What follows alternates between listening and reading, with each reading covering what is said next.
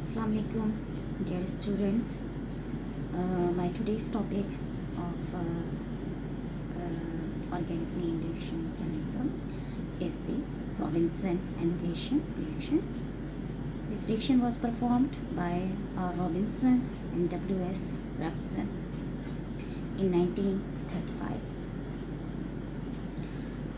Uh, they were actually preparing uh, uh, substances related to the sterol when they found that the sodium enolate of cyclohexanone reacted with various acyclic and cyclic alpha beta unsaturated ketone to afford substituted cyclohexanones. So actually this uh, reaction Uh, is the reaction of a ketone most often a cyclic one with an alpha beta unsaturated ketone to give a substituted cyclohexanone derivative is known as the Robinson annulation reaction.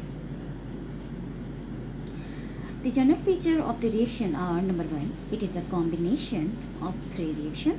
One is the Michael addition, the second one is intramolecular aldol reaction, and the last step is the protonation dehydration. And this reaction can be done both in acid and base catalyzed condition, but uh, predominantly the reaction is conducted under basic condition. Acyclic enones and cyclic ketones afford bicyclic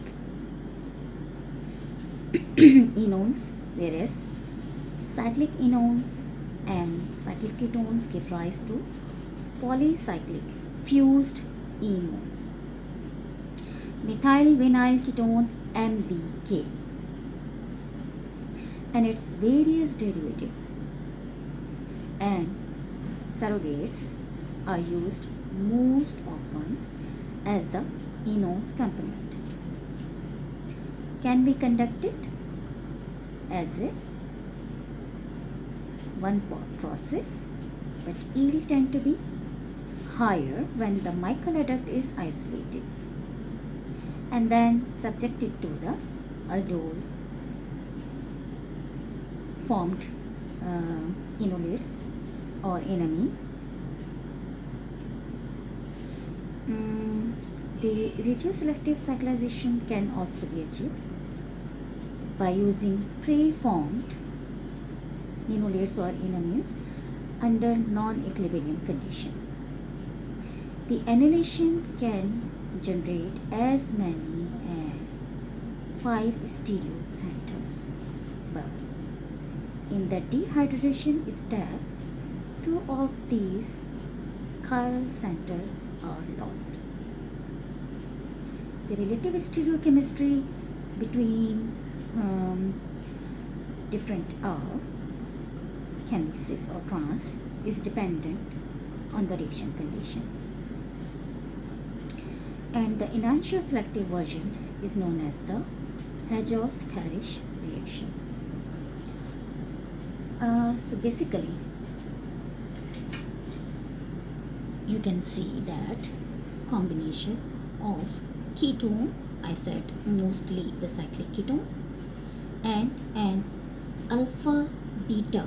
This is alpha beta unsaturated ketone. In the presence of base uh, mostly any sodium base. And then resulted in a new unsaturated six membered ring. Now you can see that this is the cyclic ketone. So this is the cyclic ketone ring and here is the ketonic oxygen which is dehydrated in the last step and there is another six membered ring generated by using this alpha beta unsaturated ketone.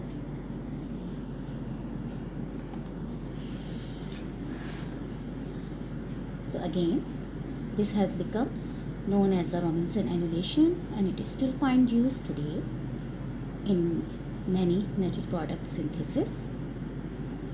The process begins with a Michael reaction as I told you before and end with an intramolecular and then condense, aldol condensation to give the neoring. And it is a classic example of a tandem or cascade reaction where an initial reaction provides the starting material for a successive reaction. As I told you before, mechanism of the Robinson annulation is using the simplified example of 2-propanone and methyl vinyl ketone. First step is the Michael reaction and the segment in involved in this Michael reaction are three steps. Number one is the formation of enolate, number two is the conjugate addition, and number three is protonation of the new enolate. And here you can see the first step is enolate formation. I told you in my previous lecture about the enolate formation. The enolate can be formed by a activated methylene group by using the base. The base will abstract the acidic proton and the proton will leave its electron on this carbon. Hence, there is a negative charge and this can go into the resonance because of the availability of this double bond and the oxygen oxygen can hold this negative charge because oxygen is the most electronegative element. And when this electro uh, this uh, negative charge comes to the carbon so this electron will come towards this carbon and form a carbonyl so in the first step the enolate will react to another alpha beta unsaturated ketone and through the conjugate addition, the carbon will attack to this sp2 hybrid carbon. This double bond will move towards this bond in the resonance.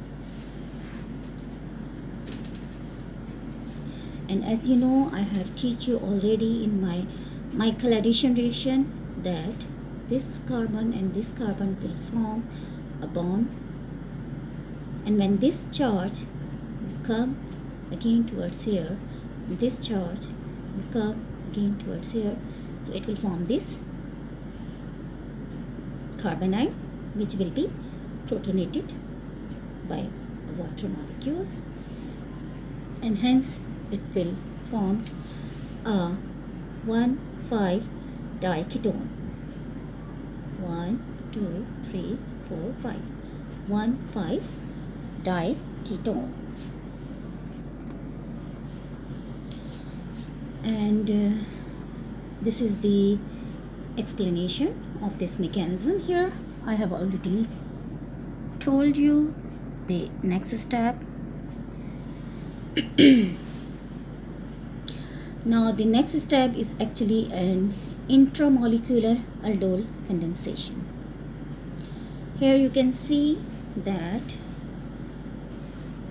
when you provide base then you use base again for this 1,5 diketone so the base will abstract the acidic proton and form another enolate anion one two three four five carbon you can see.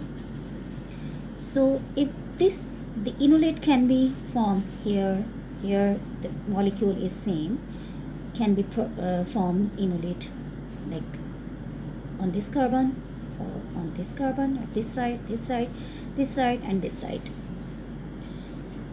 So when the enolate form at C3 so the C3 enolate if react on this electrophilic carbon and form a 1 4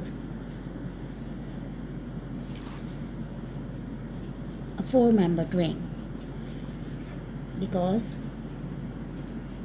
a four membered ring has a much more strain so this will be a disfavored product uh, you can see the product will be this one. If this will add to this carbon if enolate form here and it will it will attack on this carbon. So the ring will be formed is a four membered ring and due to the strain in the ring it is disfavored. Now if enolate is formed on carbon C1 so now if this carbanion will attack on this electrophilic site the ring will be formed is a six membered ring. One two three four five six. Six membered ring. And because six membered ring has less strain comparatively than this four membered ring the six membered ring will be favored and the last step is the protonation of this electronegative oxygen from a water molecule. And the base OH negative will attack on this proton and the bond will shift here and there will be elimination of a water molecule.